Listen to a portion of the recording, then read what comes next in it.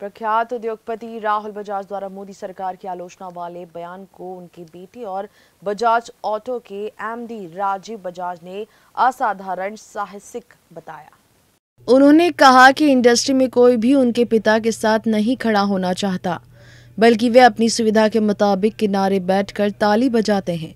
गौरतलब है कि शनिवार को एक अखबार के कार्यक्रम में राहुल बजाज ने गृह मंत्री अमित शाह से कहा था कि जब यूपीए सरकार सत्ता में थी तो हम किसी की आलोचना कर सकते थे।